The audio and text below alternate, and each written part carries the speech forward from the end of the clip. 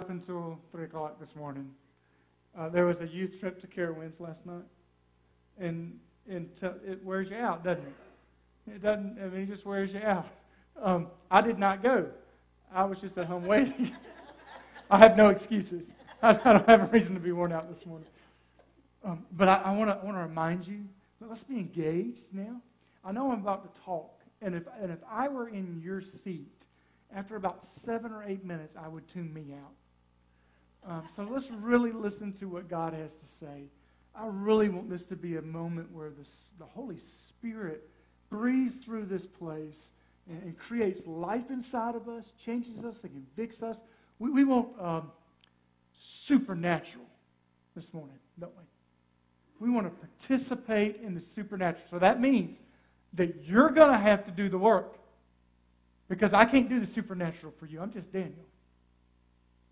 So let's, let's engage together. Um, John chapter 14, verses 1 through 6 is where we're going to be today. If you have your Bibles, I encourage you to pull out there. Um, in the, the dividing land between Laos and Vietnam, the dividing land, the border line between Laos and Vietnam is not so well defined.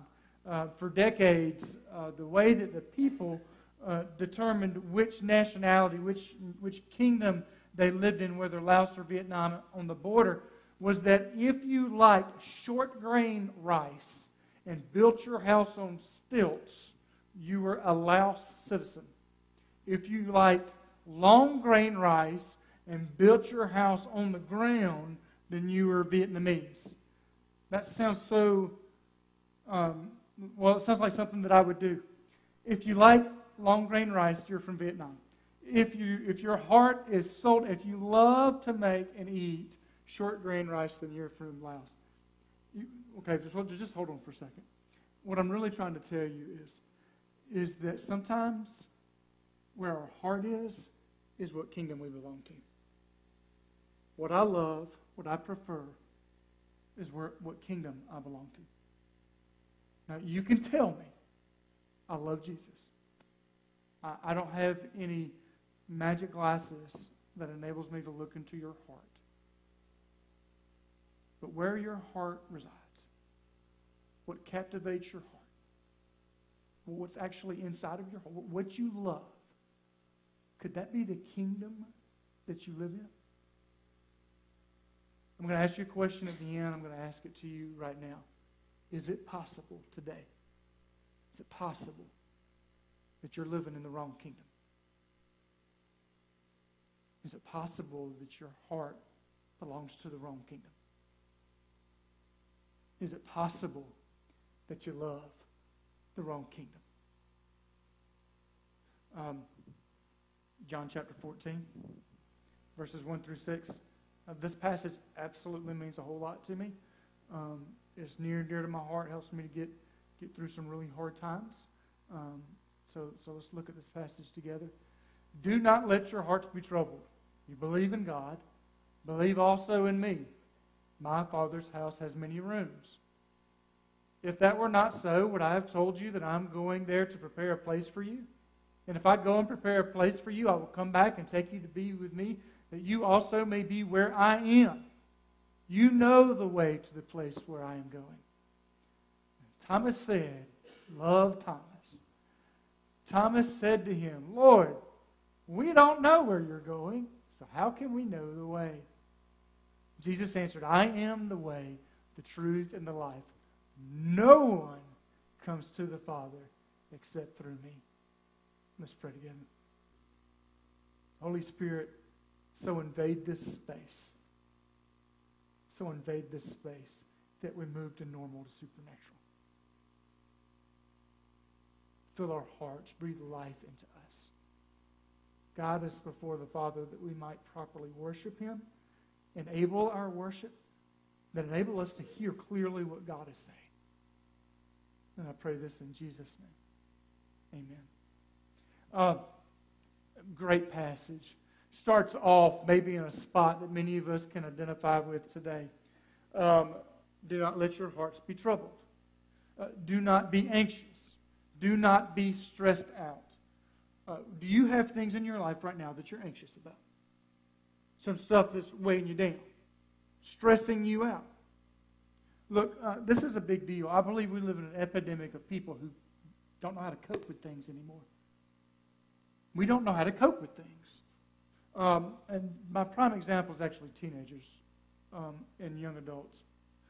I, I, believe this happened sometime right after the 9 11 movement um, and that tragedy, but we just got to a point where we couldn't deal with stuff anymore. Uh, last year, uh, Carter came to um, exam time, um, uh, national standard testing time, and he is flipping out. I mean, he's just crying, thinks he's not going to pass, think the world is going to end over a test. Now, I could preach to you a sermon about a standardized test, but I also preached Carter a sermon. There are bigger things coming up in life than that test. And if you can't handle that, I mean, we, we've lost the ability to cope. Jesus has just told his disciples in John chapter 13 that he's about to die and leave them. And this is really ruining their theology because they really did think that Jesus was coming to liberate the people of Israel. And they had put all of their heart and stock into that. And if he was coming to liberate the people of Israel, now he's about to die. Those two things don't go together for them. They, they're, they're really upset about this. And so he looks to them and he says, don't let your hearts, don't be, let what's in your heart trouble you. If what's in your heart is troubling you in a negative way, then can we just ask the question, is Jesus in my heart? It's not one of my favorite phrases. Like I like to, to lead somebody to Christ, I don't like to say to invite Jesus into your heart. Uh, that just I like to say, would you follow Jesus for the rest of your life? But I think today the question's appropriate. If my heart is troubled, what's inside of it? And Jesus answers with this wonderful reply. I mean, I wish that there was a switch, don't you? Where you could go, no longer afraid, you know, not anxious. You know, go over to the switch. I'm not going to be stressed out today. Don't you wish there was a switch for that? Because we know that fear, anxiety, stress is the food of Satan. He can use that to paralyze our lives. Our spiritual relationships with God become paralyzed when we are more focused on fear and anxiety or those things that cause fear and anxiety rather than on God. Because it brings up this ultimate question what do you trust more? Who do you trust more? Do you trust that you can't pay a bill right now over the Savior who died for our sins? Do you, do you trust, um, excuse me, your, your, your relationship with a significant person, thinking that, that that's going to you know, make or break your life? Or do you trust the Savior that died for your sins? I mean, it, it, what do you trust? What's in your heart? And so Jesus responds. And it's not flippant, it's actually just right. Okay? But it is kind of short. Don't let your hearts be troubled. You believe in God. You put your stock in God. You understand Him to be creator, designer. You know that He called the Messiah. If you believed in God, then believe in what I can do too. Believe also in me. And not just, not just like believe like I believe that the Ten Commandments are a good set of rules. It's, again, it's much deeper than that. It's where's your heart? Where's your stock? Um, and then there's this wonderful promise. Uh, in my father, my father's house has many rooms. Uh, now we have got some bad theology on this song, on this, excuse me, on this thing right here. Um, I, and I kind of want to point it out for a few minutes because I like to poke fun at it. This does not say that you have a mansion in glory. It says Jesus has a mansion in glory, and you have a room inside of it. Okay? This does not say that you're going to get whatever you want when you get to heaven, and it's going to be the coolest thing in the world. Chocolate ice cream, Rocky Road, whatever. This does not say that. This says that Jesus has a house. And in his house, he has prepared, prepared an abiding place for These are the perfect words. John says them in John chapter 15. He has a place for you to indwell. It's you in Jesus. So he says here, not that you have a mansion in glory, but my Father has a house. I have prepared you a place. It's been prepared a long time ago. I'm preparing it now. And he says, uh, if it were not so, this is what, what I would say I'm not a liar. God is not a liar. This is the promise. And the promise is contingent that Jesus has to go. There's a work to be done that Jesus couldn't stay here and do. He had to go to complete the work that he was going to do. And so, what I'm telling you is the promise is, is that Jesus went and did the work. We know he did the work, didn't we? We know he died on the cross. We know he rose again. Then let's trust him with our lives. Let's trust that he's going to come back and get us. Let's trust that he's not the liar. Let's trust that he's going to come back, and this is the great promise, and take us to where he is. But now we're going to move from location to something a little bit deeper. Okay? Because we like the mansion and glory. We like the unlimited ice cream bar because we're stuck on a location. He's not stuck on the location. Look at the, the end of that second phrase. If I go and prepare a place for you, I will come back and take you to be with me that you may be in my Father's house. No, that's not what it says. That you may, that you may have a king size bed, be able to rest well at night. I mean, I, you know I'm poking fun about this because of how important this is. I'm going to take you to be with me. The prize of heaven is Jesus Christ. The great glory of heaven is not an unlimited ice cream bar. That you, your, your glory of heaven is not that one day you're going to be healed. That's a byproduct of who Jesus Christ is. The glory of heaven is Jesus Christ. Our great joy for heaven is Jesus Christ. This is an eternal perspective. This is New Testament Christian theology. He's coming back and he's going to take me there. But when we get so caught up, like I do, overstressed, short sighted, then I miss the kingdom. My heart starts loving a little bit more of what I can do than what He's already done. I want to show you a little video, um, if I could.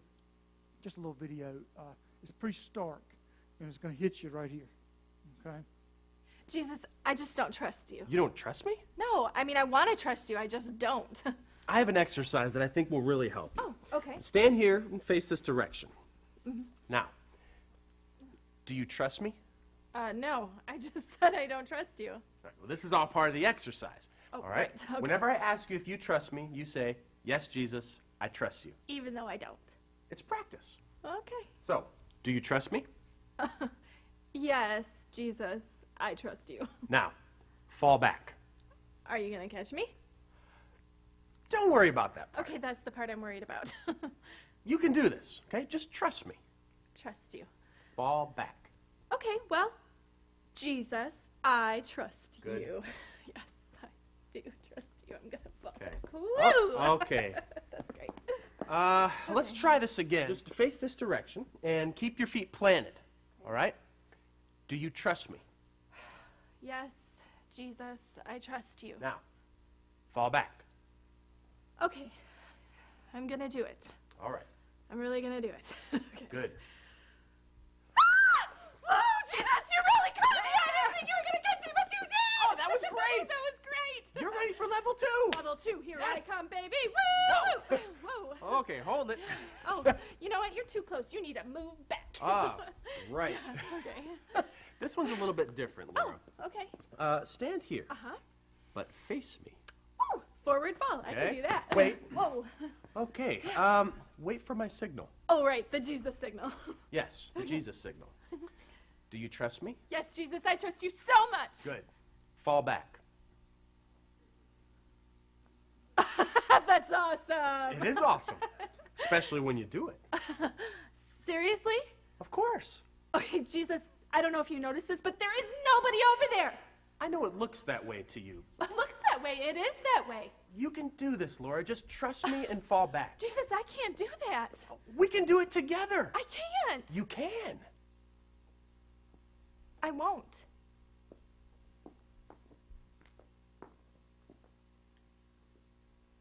Very start. We say that we trust Jesus. We get a little bit of experience in trusting Jesus. And we say that we trust Jesus. And it's not about our location, because who was right there? Jesus. It's about where her heart was.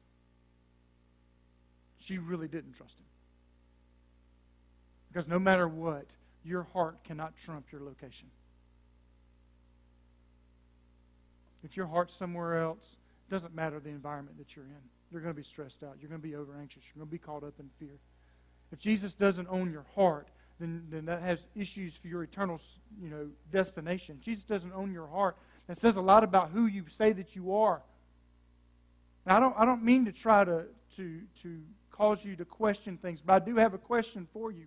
What if your heart belongs to something else today? What if all of those things that you're thinking about that right now you've given your heart over to, you shouldn't have done that? And today's God saying, don't give your heart there. It's going to cause you trouble and anxiety. Give your heart to me. Trust me. Because don't you think that the God of the universe, who was standing in front of this young lady, who told her to fall backwards, can't catch her from behind at the same time? Don't you trust that the God who you try to put in front of you all the time, in front of your face all the time, will be there to catch you if he's in front of you? He will be. He always is.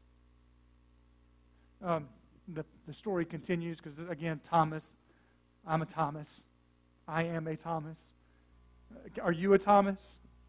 I am absolutely a Thomas. Do not let your hearts be troubled. Believe also in me.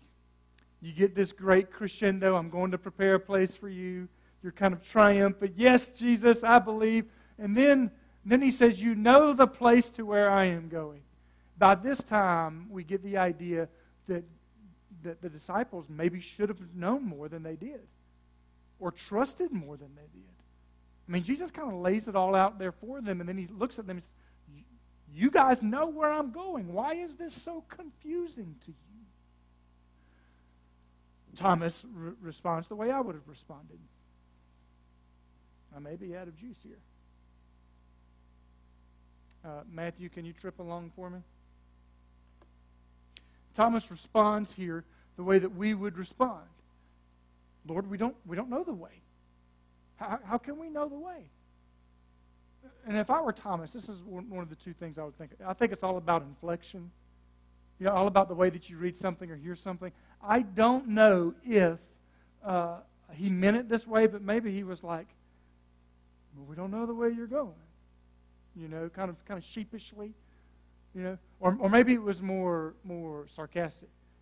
We don't know where you're going. You know what I'm saying, right? Maybe he looked at him and said, You always speak in parables and poems, and we just don't get it. You're always talking about some riddle in some place that I've never been to. Look, I, there was a person um, the, in Kern County, um, Oklahoma. This is 2013. Um, they were driving their RV to go to a local campground, um, and they were following the GPS. And the GPS um, uh, started leading them down this dirt road. Have your, has your GPS ever sent you to a place that you just didn't feel good about? So they're going to camp with their friends, and I can understand going to camp, and, and sometimes campgrounds have dirt roads on them. But they started traveling about an hour or so down this road, dirt road. You know, you can't go fast on an RV, so maybe they only made it about 10 miles or so. They told them to take a right turn down another dirt road. They started to get really nervous when they said the trees started closing in on them. They, and it, it, they made it to a soft spot that day, and their RV actually got stuck. They said, Oh, well, we've got an RV. We'll just spend the night. It'll dry out sometime tonight, tomorrow morning and we'll be able to get right out. The only problem was it didn't dry out. So they stayed. Not one night, they stayed seven nights, stuck in the middle of nowhere. And I, I, tell you this because at what point were they driving down this road for an hour that somebody didn't go, uh, maybe we should call one of our friends? One of our friends and say, hey, I, I don't think this looks familiar. You know, tell me, I, this, just, this doesn't feel good. At what point, sitting in an RV stuck in the mud, did somebody not go, well, maybe we need to call a tow truck? You know? Been here for a few years. Finally, after seven days, they called the local sheriff. Sheriff's office came out and helped them out. Now, you, we shake our heads at them, but how many times have we given our hearts down a path? We know it didn't feel good. You know, we, we know something didn't seem just quite right. We know it wasn't biblical and it wasn't godly, but we kept going anyways. And now, now we're at some place and we don't feel comfortable. Too stressed out, too anxious. No wonder. But let's be like Thomas. How many times have you heard a pastor say, be like Thomas? Maybe we should be like Thomas and just ask. We don't know the way. Can you please help us, Jesus? Maybe that needs to be your prayer today. Jesus, I'm in a spot. I don't know how I got there. I don't know what's going on. Please help me. Maybe, maybe you need to say, Jesus, my heart's burdened and broken. I've been beating my head against the wall. I don't know how to make it out of here. Please help me. Maybe. The, the passage closes. Let's see if I got juice today. Oh, yeah. I'm back to power. And Jesus said to him, Again, Lord, we don't know where you are going, so how can we know the way? And Jesus answered. It's that, it's that beautiful phrase. We, we know this phrase, don't we? I am the way and the truth and the life. No one comes to the Father but through me. Makes perfect sense, doesn't it? Like we say that, like rolls off of our tongue. There's a, there's a lot of huge theological statements here. In, in this passage, Jesus is identifying himself with God. He's much more than doing that. He's saying that he and God are basically doing the same things. Do you remember last week we were looking at Deuteronomy chapter 30, and I got a little loud, and I said, Today! Do you remember that? Because in that passage, Deuteronomy chapter 30, Moses gets the, gets the message clearly says, Lord God, you are the life. What does Jesus here say? I am. I am, and there is none other. It's not like I am with 15 other things. It's I am, and there is nothing else. I am the way, the pathway, the, the passage, the only accessible route to God. I am. I, I am the truth. Not a truth statement like 2 plus 2 is 4. He is the original truth. Uh, the word truth actually has a lot to do with fidelis, which is as close to the original as possible. Jesus is the closest to the original as possible. Why? Because he is the original. He's not a carbon copy, he's not a regurgitated truth, he's not another truth statement. He is the truth, the source of reality. He is it. And he says, I am the life the, the Zoe here in Greek. It is the, the, the life, if, if you could live a life, if you could live a life where you could just walk into heaven, that's the life it's talking about. If, if you could live a life that was so great, so good, so joyful, so loving, so fulfilling in every single way that you could just walk into heaven, that's the life this is talking about. Jesus is saying, I am those things. Now, we're really good with that. Like, we're like, yes, way to go, Jesus. Like, if we were a cheerleader today for Jesus, this would be the spot we would be cheerleading, wouldn't we? This is where it gets rough. Definitive, gracious statement. So gracious. No one, no one comes to the Father except through me. Well, where's your heart? Because if your heart's someplace else, you're not going to find the fulfillment you want. It only comes through Jesus Christ. You might think that you have the pathway, the bridge, the way. You might think you have a, a handle on a kernel of the truth. It's not a destination, it's a person. And what's in your heart will never trump that place. That place that nobody else knows about. That place that maybe hides your secret sin, your secret fears, your public sin or your public fears. He is the way, the truth, and the life. Um, let me let me let me explain this with a few cultural terms. Can I do that? I'm going to do it, so just hold on. Uh, the first one is is that uh, in, in our culture today, and again, I'm a Gen Xer, and I think Gen X ruined the world. Um, and I'm not joking. I really think we ruined the world because we, we I, I feel like we started this idea of, you know, we want it our way. And not only do we want it our way, as long as it's not hurting you, why are you fighting me about my way? Just let me live my way. I'm going to call that um, moral deism for a minute. Okay, deism though has to do with God, and so what we've gotten to do the point to the point today where where we believe that it's possible that I can earn my way to heaven. That I can, and this is a lot of religions, some of us Christians, that believe if I obey the Ten Commandments good enough, or if I'm a good enough person, that if I give enough, or I'm social enough. I, I was looking at a guy just the other day. I asked him if he was going to go to heaven. I was in his house. He said, Well, I, I live a pretty good life. The only problem with that is that if, if my deism, if my, my, my eternity, my, my making it to God is based on what I can do, then there becomes an, an awful duplicity. Because I can do something on the outside and not feel like it on the inside. Husbands, how many times has your wife told you to change a light bulb and you didn't feel like it?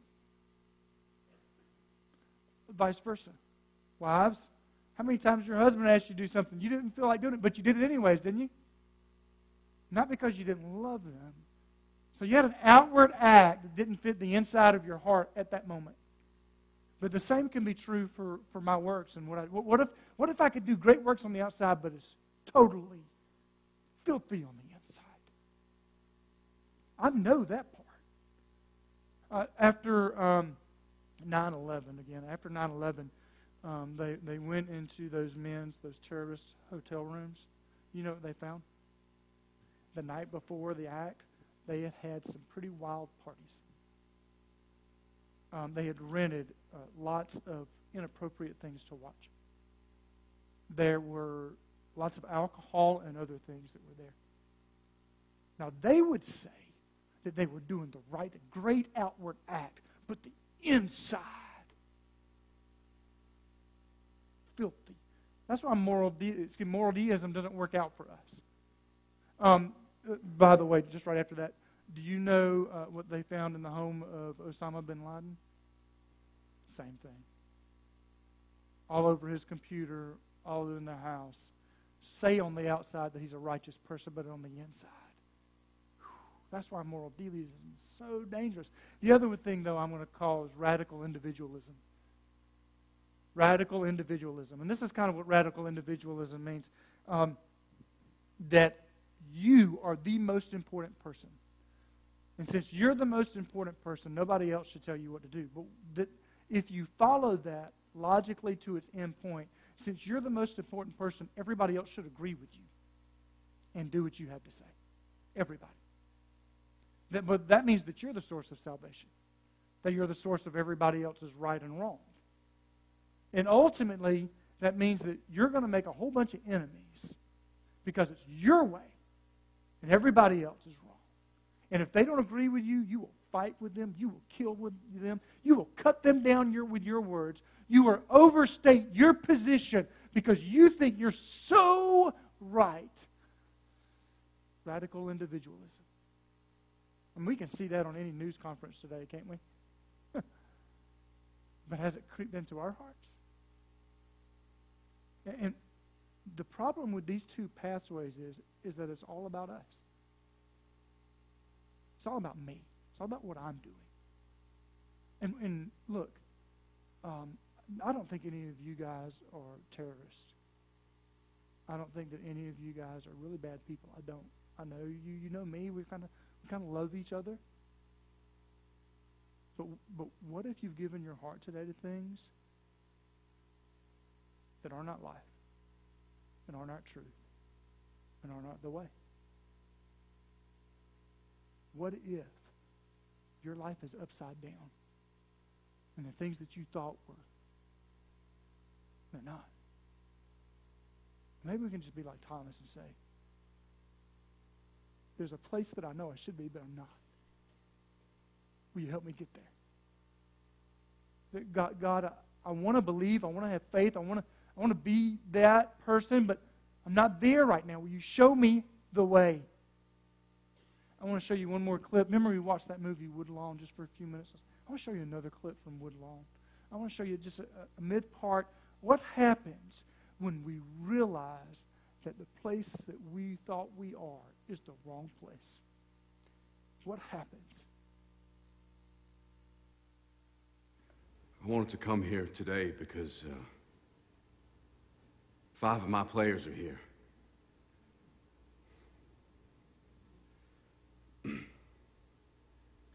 five of my players that have been mistreated time and again by their school and by their teammates. And I have not done enough to stop it.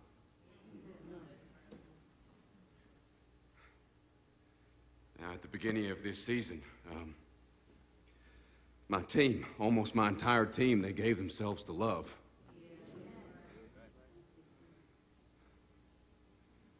A love that I didn't understand. A love that began to conquer hatred. And after the game on Friday, I went home and I prayed. Not that I really know how to do that. But I told God that I don't know if you're real. But I want I want whatever my players have.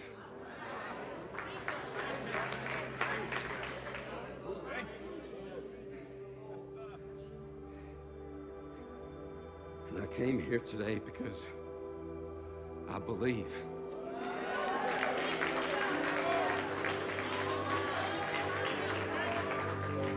I believe and I want to be baptized.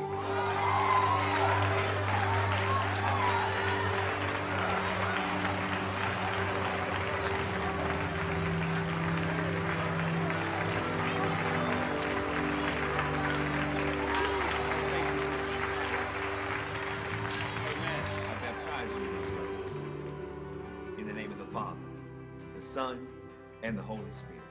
Buried with Christ in baptism, raised to walk in the newness of life. What I'm